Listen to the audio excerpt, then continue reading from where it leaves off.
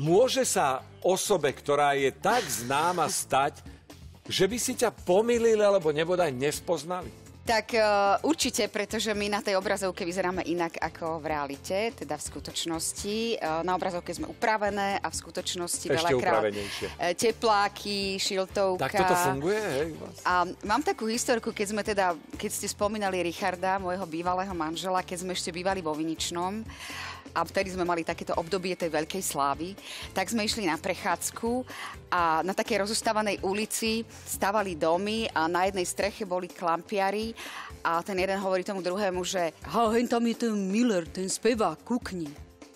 A to je Millerová, tá jeho žena, tá hlasateľka. A ten druhý mu hovorí, že hento? Hento je tá hlasateľka.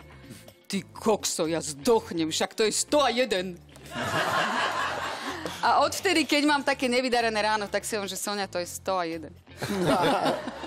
Čo ti potom tak preblesne hlavou, keď ty toto počuješ? Ale je reaguješ na to? Alebo len je to zábavné je to teba? také zábavné. Nedávno sa mi stala taká historka práve keď si spomínal, že nás sledujú teda aj muži a veľakrát, e, aj keď mu to tam nezapadá ten obraz, že si to nevie spojiť, ale počuje hlas a ten hlas mu je povedomý.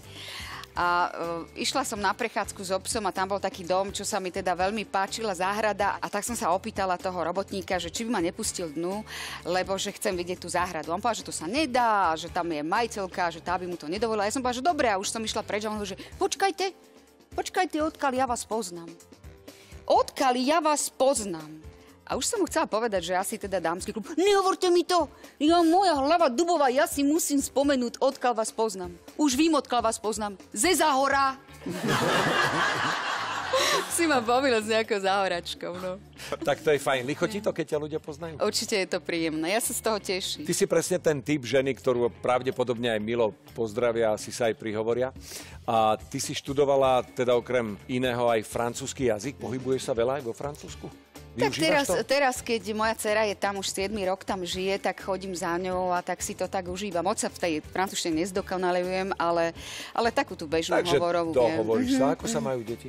Tak Filip, e, tam mám trošku embargo o tom, aby som rozprávala o ňom, ale teda dobre. Uh, už, Tak nehovor, aby si nemala doma ale je to taký veľký, silný chlap, je veľmi šikovný.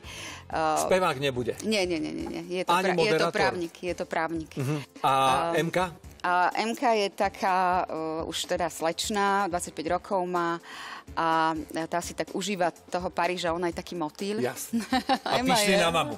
No, myslím si, že áno. Verím tomu, že áno. Ja som najmä pyšná na moje deti. A oni na teba. Sonia Millerová je, alebo už bola našim tajným hostom. Sonička, ešte si Áno. sadni na chvíľočku k nám. Ďakujeme veľmi pekne, že si Ďakujem prišla. za pozvanie.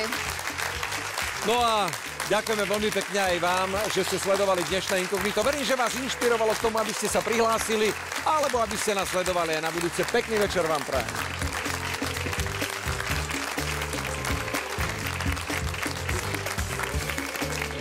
Ideme na tretie povolanie a Radko s ním prichádza. Toto je náš tretí dobre. host. A Radko. Aj Radko je ešte... Radko sa ešte len To je zakráda. Radko. Radko sa ešte len zakrát, zakráda. Kde ste? Príde zakrátko, Radko. Obrátko, hladko. Hladko, všelijako. tak. Nič sa Máš povedal. Môžeš tomu Vládkovi pozrieť vlasy? Ja som si to všimol, ja som si to všimol. Dneska mám tupé. OK. Mrkni mu aj do hlavy, či je tam nemá tupe. Pozri, či nemá v hlave vibrátor. Dobre mu to Dobre to urob. je, to Normálne. je. Origoš na kokr španiela mu to